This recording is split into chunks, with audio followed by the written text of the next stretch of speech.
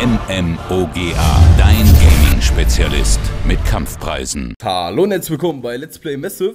Jo, wir sind hier auf dem Ultimate Team Account, aber mal ganz anders. Ihr seht da oben nämlich so zwei Fratzen und das bin einmal ich. Ja, ich habe es ja versprochen, deswegen mache ich es auch. Und ähm, einmal seht ihr noch den Ilya und der kann sich ja mal vorstellen. Wundert euch übrigens nicht, wenn ich ab und an mal darüber gucke. Ihr seht das, hier ist der Bildschirm mit der PS3-Aufnahme und mit der Tonaufnahme von mir. Und daneben steht noch der Laptop und ja, da ist der Ilya halt drauf und deswegen gucke ich da manchmal rüber, weil da ist seine Fratze halt, ne? So Ilya, jetzt kannst du loslegen. Jo, hallo, ich bin's der Ilya. Ich war ja schon mal bei dem Frage- und Antwort-Video äh, dabei, wer das vielleicht kennt und äh, ja, ich bin auch sehr aktiv im Forum und deswegen hat äh, mich der nette Massive mal gefragt, ob ich nicht äh, dabei sein will als äh, Facecam Special. Ganz genau so sieht's aus. Weil ich habe mir gedacht, wenn ich schon eine Fratze zeige, dann kann ich ja gleich zwei zeigen. Und ja, ich habe mir erst sowas überlegt, ja, fragst du irgendwie einen anderen YouTuber, zum Beispiel einen, die auch öfter mal was mit Facecam machen oder so, wäre wahrscheinlich auch kein Ding gewesen. Aber ich habe mir gedacht, nee, machst du doch lieber was mit einem, der richtig aktiv ist im Forum etc. pp. Und ja, der Ilya hat dann gleich gesagt, er würde es auch mit Facecam machen und ja, deswegen passt das. Und ja, wir verstehen uns so auch halt ganz gut. Ich denke mal, das ist auch ganz wichtig. Und ja, in diesem Video, was werdet ihr sehen? Ihr werdet eigentlich nur uns beide so ein bisschen über Champions League labern hören. Und wir ziehen natürlich ein paar Packs, weil, ja, ehrlich gesagt, ich wusste nicht so genau, was wir machen. Erst hatten wir vor, Coop zu spielen, aber, also Koop. Aber ich denke mal, das wird eventuell nächste Episode kommen. Vielleicht dann nochmal mit Facecam, aber ich weiß noch nicht ganz genau, also ich will nichts versprechen. Das soll jetzt erstmal ein Video sein, um die Leute ein bisschen zu befriedigen, dass hier hinter dem Mikrofon sozusagen nicht der Vollnerd sitzt, kein 200 Kilo Mann und dass ich einfach eigentlich ganz normal bin, wie alle anderen auch.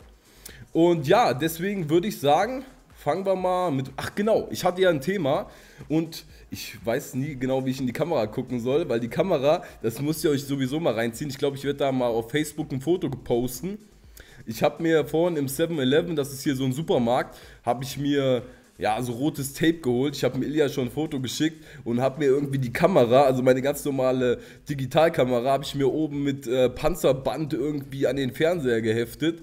Und ja, deswegen ist das so ein bisschen behindert. Aber ich glaube, es ist alles drauf. Ähm, falls ihr euch wundert, also wie gesagt, das ist mein normaler Monitor, da steht mein Laptop, da steht der Fernseher, da hinten diese komische Fernbedienung an der Wand ist von der Klimaanlage und das ist mein Mikrofon und ja, wie gesagt, das bin ich natürlich. Und ja, was wollte ich jetzt eigentlich sagen? Genau, das Thema. Was hältst du eigentlich von sowas wie Facecam, Ilja? Also brauchst du sowas, weil ihr müsst das ja so sehen, der Ilya ist ja ein YouTube-Zuschauer, also er ist ja keiner, der selber aufnimmt und das ist mal so ein Punkt für mich, der schon ein bisschen interessant ist, wie das aus Zuschauersicht so ist, ob man sowas unbedingt braucht oder nicht. Wie ist das bei dir? Ja, also ähm, ich finde die Webcam ist eigentlich auch ganz cool, ist auch mal eine nette Abwechslung, wenn die dabei ist, aber muss halt natürlich äh, nicht jedes Mal äh, so sein und wenn die mal dabei ist, ist halt natürlich äh, cool für uns Zuschauer, denke ich mal, dass wir dann auch äh, live deine Reaktion sehen, deine Gestik, deine Mimik, wie du vielleicht dann bei Gegentoren dann ausrastest. Man hört dich zwar, die ja. meisten, aber die äh, meisten wollen dich halt dann dazu noch live erleben, sehen und so. Deswegen denke ich mal, ist die Webcam dann auch nochmal was äh, Nettes, was Gutes. Okay, aber das wäre jetzt für dich, wäre das für dich ein D-Abo-Grund? Also jetzt sagen wir mal, ähm, ein YouTuber würde erst sagen, ja, vielleicht kommt Facecam, aber dann würde er sagen, nee, ich habe mich dazu entschieden, keine zu bringen. Wie würdest du darauf so reagieren? Ne, also ich finde, das ist auf jeden Fall kein D-Abo-Grund, denn äh, man guckt ja in erster Linie nicht äh, darauf, äh, wie der Me Mensch oder wie die Person sich da zeigt, sondern wirklich, äh, es geht ja um Let's Plays und äh, ja, das ist äh, wohl der wichtigere Aspekt als zu sehen, wie jemand aussieht. Denn da, wenn der ja. jemand irgendwie kennenlernen will, da kann der auch auf andere Portale drauf gehen. Das habe ich mir nämlich auch immer gedacht. Ich weiß auch nicht. Ich meine, ich kann euch ja alle verstehen, also jetzt mal an die anderen ähm, dass ihr vielleicht gerne die Person mal sehen wollt. Aber manchmal fand ich das schon ein bisschen übertrieben. Das ist vielleicht auch ein Grund, warum es so lange gedauert hat. Weil irgendwie, ich hatte gar nicht so den Bock da drauf, weil es irgendwie zu übertrieben war von manchen Leuten. Irgendwie, da kam mir das wirklich so vor, als ob die Leute nur unter die Videos kommen, kurz gucken, ist eine Facecam mit drinne? Wenn nicht, oh, Luca Toni mit Hawk gezogen. Ich glaube, irgendwie die ganzen Leute, die äh, im Team of the Week mal waren, Die haben nämlich alle einen Chemistry-Style. Ist Ja. dir das auch schon mal aufgefallen? Ist irgendwie so, ne? Ja, also nicht immer und nicht äh, jedes Mal, aber ab und zu hatte ich auch schon mal jetzt zum Beispiel einen Kellini mit Encore oder einen Thiago Silva mit äh, Anker, obwohl der kein äh, EF-Spieler war, aber halt Team of the Stimmt, Year, ja. hat's auch schon mal Encore. Okay, wo waren wir jetzt gerade? Bei Facecam Ja. auf jeden Fall. So, Auf über Face Game. Ach genau, genau, genau, genau. Ähm, das mit der Lust lag jetzt irgendwie nicht da dran. Ich habe überhaupt kein Problem, mich da irgendwie vor so eine Kamera zu stellen. Ich muss zwar ehrlich sagen, ich habe sowas noch nie gemacht. Das kommt wahrscheinlich auch so rüber, weil wie gesagt, das äh, ist das allererste Mal. Natürlich habe ich mal mit irgendwelchen Leuten geskypt per hier Webcam ganz normal auf dem Laptop, aber jetzt so das in ein Video zu bringen, habe ich halt noch nicht gemacht vorher. Aber im Allgemeinen habe ich halt kein Problem damit. Das Ding war halt vorher, ich konnte vorher keine bringen wegen Versicherung, da war halt das vertraglich geregelt, dass ich mich nicht öffentlich im Internet zeige, weil es könnte halt sein, um das auch mal kurz zu erklären. Jetzt sagen wir mal, ich bin bei einer netten Familie, verkauft denen da eine schöne Versicherung und der Sohn geht dann mittags ins Internet, guckt sich so ein Let's Play Messe Video an und dann ist der Spasti, der gerade eine Versicherung verkauft hat, ist dann da total am Durchdrehen in so einem YouTube Video könnt ihr euch vorstellen, dass das nicht so eine gute Publicity für die Versicherung ist. Und ja, das ist halt auch so ein Grund, warum es vorher nicht kam. Aber jetzt wäre es eventuell sogar schon ein bisschen früher gekommen, wenn es nicht so krass gewesen wäre. Weil es war halt wirklich manchmal so, dass irgendwie 20 Kommentare unter dem Video mit Facecam waren und äh, manche wirklich auch so richtig ausfallend, ey Alter, ficken und was weiß ich, wo ist die Facecam und so, so richtig übertrieben, als ob sie wirklich äh, irgendwelche männlichen Kontakte suchen. Also ich kann schon mal sagen, tut mir leid, ich stehe nur auf Frauen, aber das war halt wirklich ein bisschen sehr übertrieben. Also es kam halt so vor, als ob die geguckt haben, Facecam, wenn nicht, nee, Video weggeklickt. Ich meine, man muss halt sehen, ich bin halt kein Comedy-Kanal, wie zum Beispiel White Titty oder was weiß ich. Das ist logisch, dass die ihre Fressen zeigen müssen, weil sie damit ihre Klicks generieren. Aber ich meine, mein Kanal geht halt um FIFA. Und ja, ich denke mal, da sollte auch der Hauptaugenmerk drauf liegen. Übrigens, äh, das mit den Münzen, bevor wieder gefragt wird, da habe ich nichts geschwärzt. Ihr habt es bestimmt ganz am Anfang vom Video gesehen. Da ist schon wieder ähm, die Zahl auf minus 852 Millionen gestiegen, beziehungsweise gesunken. Und äh, ja, jetzt ist die Zahl halt irgendwie wieder weg. Keine Ahnung, ist anscheinend irgendein Bug bei EA aktuell. Und ich weiß gar nicht, vielleicht seht ihr das sowieso nicht, weil ich irgendeine Facecam drüber lege. Das kann ich aber jetzt noch nicht sagen, weil ich das Video ja noch nicht geschnitten habe. Das wird eh noch so ein Späßchen, weil das Problem ist einfach, ich muss, ich nehme einmal Ilya auf. Das heißt in Skype sein Bild und seinen Ton mit Camtasia. Dazu nehme ich meine PS4 auf mit der HDPVR, mit dem Programm. Dazu nehme ich nochmal extra meinen Ton auf mit Order City und dazu nehme ich nochmal mein Bild auf mit der Kamera. Und das muss ich irgendwie synchron zusammenschneiden. Also das wird bestimmt ganz witzig werden, aber ich hoffe mal, ich kriege das gebacken. Aber irgendwie wird das schon klappen. So, ich will den Ilja jetzt nicht ganz rauslassen, aber ich, ja, Ilja, du kennst mich ja, ich bin ja immer so ein bisschen am Labern. Und ja, ich würde sagen, wir gehen aufs nächste Thema und das wäre Champions League. Und als allererstes will ich auf das Spiel Dortmund gegen Zenit eingehen. Beziehungsweise du. Du sollst erstmal deine Meinung dazu sagen. Hast du es live gesehen? Hast du Zusammenschnitte gesehen? Wie war das bei dir? Ja, also ich habe das äh, Spiel auf jeden Fall auch äh, selber live geguckt. Ich bin ja auch Dortmund-Fan. Äh, fand den Start auf jeden Fall echt überragend, nach fünf Minuten 2-0 auswärts zu führen in St. Petersburg war auf jeden Fall erstmal sehr gut. Ähm, die erste Halbzeit wirklich nichts anbrennen lassen und ähm, ja, dann in der zweiten Halbzeit fällt der erste Gegentreffer irgendwie nach einem Gewusel auch durch Abseits äh, wohlgemerkt. Äh, Im Gegenzug macht direkt der Lewandowski da aber dann das 3-1, dann hat man sich wieder ein bisschen auf der sicheren Seite, dann kommt wieder ein Elfmeter irgendwie zustande, was ja, kann man pfeifen, muss man aber denke ich mal nicht. Hulk nagelt den natürlich mit, was weiß ich, äh, 200 äh, Stundenkilometer rein. Oh ja. Und dann macht äh, der Le Lewandowski doch noch wieder das 4-2 und dann denke ich mal auf jeden Fall ist ein sehr gutes Polster für das Auswärtsspiel zu Hause in Dortmund geschaffen und darauf freue ich mich auch. Ja, dem kann ich eigentlich fast gar nichts hinzufügen, außer vielleicht, ich fand in der ersten Halbzeit haben wir mal wieder so richtig Dortmunder Pressing gespielt, was vorher irgendwie so ein bisschen abhanden gekommen ist. Das war wieder richtig geiles Gegenpressing etc. Es war richtig schön anzusehen. Ich meine, einige versuchen das jetzt wieder schlecht zu machen. Ja, das war ja nur Zenit. Aber ich meine, wir haben das auch aktuell in den letzten sehr vielen Spielen auch gegen keine anderen Mannschaften hinbekommen. Deswegen finde ich, ist das schon eigentlich lobenswert, dass das jetzt langsam anscheinend wieder zu kommen scheint. obwohl wir ziemliche Verletzungsprobleme immer noch haben. Ist dir ja bestimmt auch aufgefallen, oder? Also jetzt ja. nicht mit den Verletzungen, sondern äh, mit dem Pressing. Ja, Pressing war echt äh, wieder sehr gut, ansehlich, gut gespielt. War auch eigentlich die letzten Bundesligaspiele ausgenommen, natürlich jetzt gegen Hamburg, auch ja. gegen Frankfurt haben die das natürlich zum Teil sehr gut gezeigt, gegen Werder Bremen davor die Woche. Da haben die die Spiele auch gut äh, gespielt, das Pressing gut gespielt, aber äh, da fehlt dann natürlich auch die Konstanz. Ich weiß nicht, warum man dann gegen Hamburg so untergeht. Vielleicht äh, lag es an der Konzentration, keine Ahnung. Ja, vielleicht ein bisschen zu sicher gefühlt bisschen zu sicher gefühlt, irgendwie Hamburg so scheiße gewesen, haben sich wahrscheinlich gedacht, ja, müssen wir irgendwie nur halbe Leistung abrufen. Aber das war dann nicht so ganz der Fall.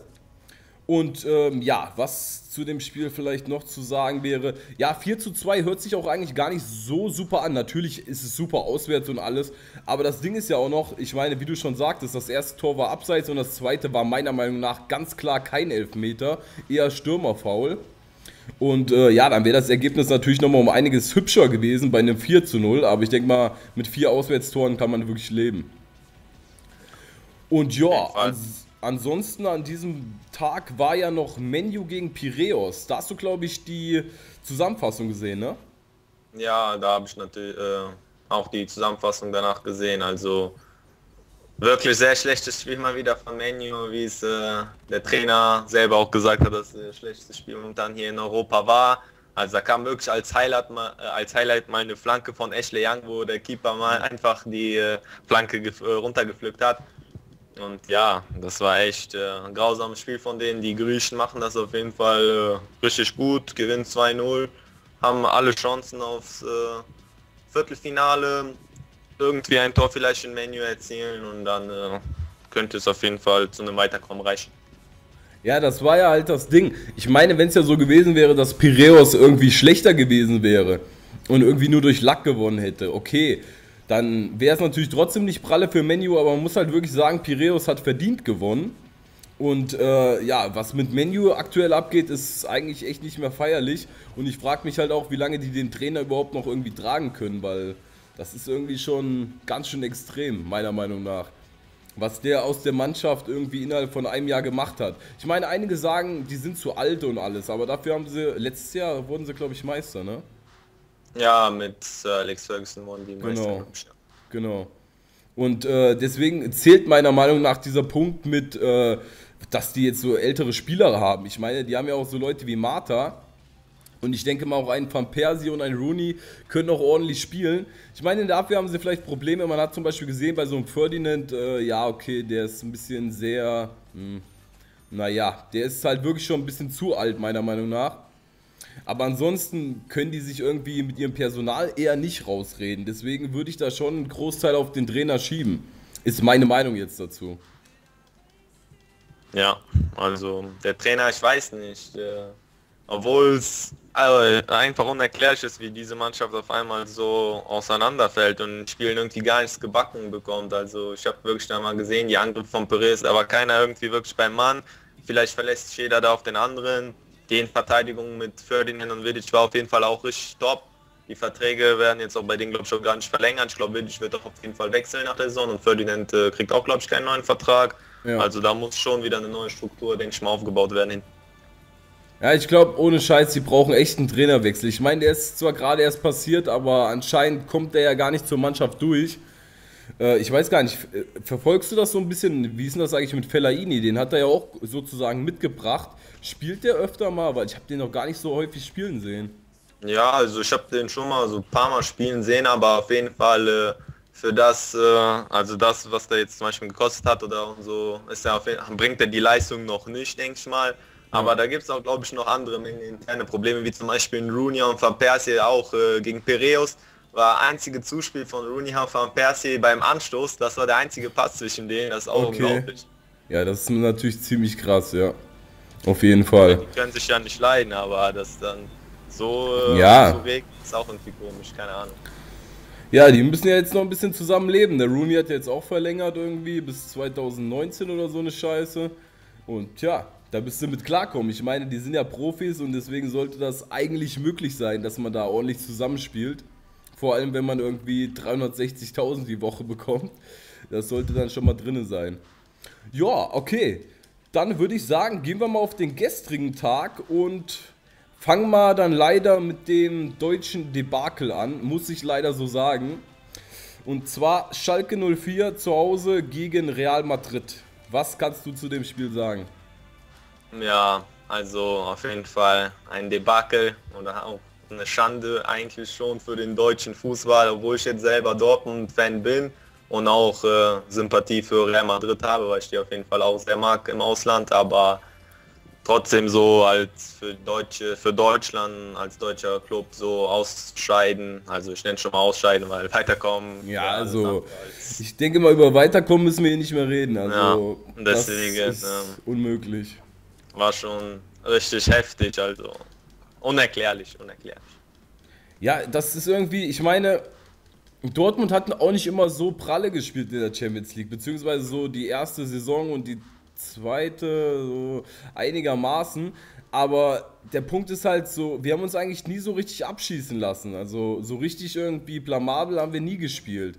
Deswegen frage ich mich immer, wie so ein Verein wie Leverkusen, das ist jetzt zwar, geht zwar um anderen Verein, aber Leverkusen zum Beispiel auch, die spielen wirklich so super in der Liga, auch gegen Bayern München zum Beispiel, die ja aktuell wahrscheinlich der beste Verein weltweit sind.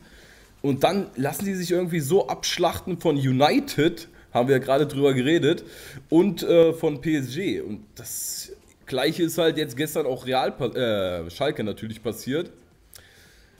Ich meine, sind vielleicht ein paar unglückliche Umstände passiert. Ich meine, beim ersten Tor von Real, meiner Meinung nach sehr geil zusammengespielt übrigens. Also da mit der Hacke durchgesteckt. Natürlich kommt der ein bisschen lucky dann zu Benzema durch, ist klar. Aber ich meine, wenn er normal durchgeht, unabgefälscht, dann geht er auch, ich weiß gar nicht, wer der andere da war, Bale zu oder Bale, so. Bale ja, genau. Und äh, deswegen, dann ist er wahrscheinlich auch drin. Und wenn danach Draxler natürlich aus 5 Metern das Tor nicht trifft, ähm, ja, ich weiß auch nicht. Und vor allem, wie auch äh, Horst Held hat das, glaube ich, heute gesagt.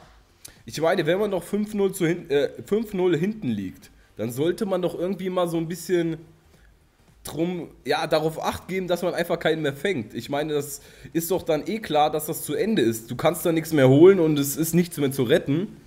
Und da hat er sich halt auch ein bisschen drüber aufgeregt, dass Schalke trotzdem noch versucht hat, nach vorne zu spielen. Ich meine, sie haben da noch ein sehr schönes Tor gemacht, aber ich meine, was bringt es denn im Endeffekt, wenn du irgendwie dann 6-1 verlierst? Und äh, ja, vielleicht hätten sie einfach nach dem 3-0 so ein bisschen einen Schlussstrich ziehen sollen. 3-0 hätte sich bestimmt keiner unbedingt drüber aufgeregt, wäre natürlich auch nicht super gewesen, aber 6 zu 1, das hört sich halt immer an irgendwie wie erste gegen zweite Liga. Und das ist halt nicht unbedingt so super für den deutschen Fußball. Ich will jetzt nicht sagen, dass Dortmund immer so super für den deutschen Fußball spielt. Letztes Jahr natürlich schon, aber natürlich haben wir auch Niederlagen kassiert. Aber es ist halt schon so ein 6 zu 1, wenn das in den ganzen anderen Ländern wahrgenommen wird, wenn unser Tabellenzweiter in der Bundesliga und der Tabellenvierte in der Bundesliga, also die Champions League Plätze, solche Ergebnisse abliefern, ist halt nicht ganz so pralle. Ich finde es übrigens auch schade als Dortmund-Fan. Ich bin auch wie Ilja Real-Sympathisant. Das heißt, ich war schon seit der Luis Figo etc. Zeit dabei und es war immer mein internationales Lieblingsteam. Und äh, das ist halt der Punkt. Aber wegen deutschen Fußball, wie Ilja schon sagte, ist das halt relativ schade. Ja, das wäre eigentlich dann vielleicht auch noch der Schlusssatz zu diesem Spiel. Natürlich interessiert mich und vielleicht auch ein Ilja eure Meinung dazu. Die könnt ihr nämlich gerne mal in die Kommentare schreiben, was ihr so von den Spielen haltet.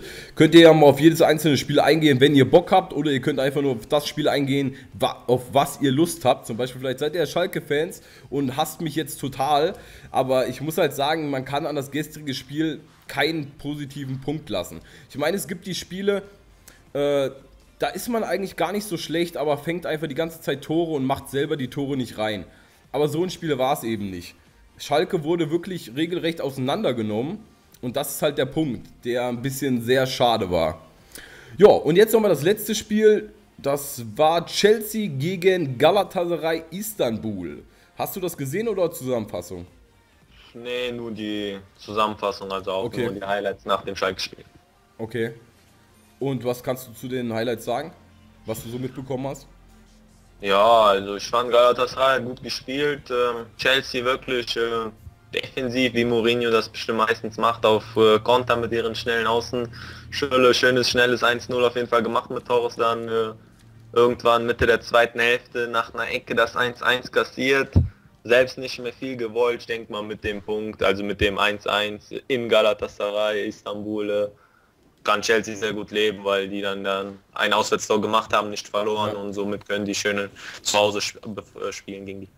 Ganz genau, so denke ich mir das auch. Also ich muss sagen, Galatasaray hat einfach die erste Halbzeit verpennt, in der zweiten Halbzeit meiner Meinung nach ganz klar überlegen und hätten vielleicht sogar den Sieg verdient gehabt im Endeffekt, weil in der zweiten Halbzeit fand ich sie wirklich um einiges stärker.